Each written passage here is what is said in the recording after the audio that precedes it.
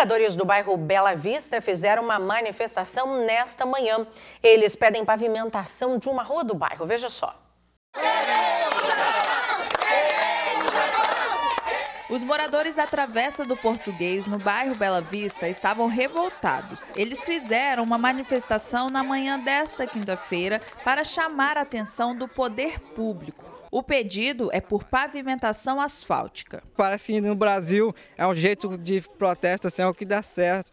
Mas vamos fazer de outras formas também, nós vamos conseguir chamar a atenção da mídia de outras formas aí para a melhoria da, de todo mundo. A revolta dos moradores é porque, segundo eles, a prefeitura tem um projeto de pavimentação para a rua Afonso Cláudio, que é paralela à rua onde eles fazem o apelo. E, segundo eles, para a travessa do português, onde eles moram, não tem nenhuma previsão de pavimentação. É um descaso total com a população, porque há muito tempo a gente corre atrás e é constado três asfaltos, mas eles vêm aqui e não tem asfalto nenhum. Será um asfalto invisível que ninguém enxerga? A rua, que ainda é de barro, resulta em vários problemas na rotina de quem mora aqui. É muita poeira, né? No dia a dia. E quando chove também, molha tudo, é poça de água, poça de lama. A Polícia Militar esteve no local. De acordo com os militares que não gravaram entrevista, os moradores tinham como objetivo atear fogo nesses itens. A gente está lutando pelos nossos direitos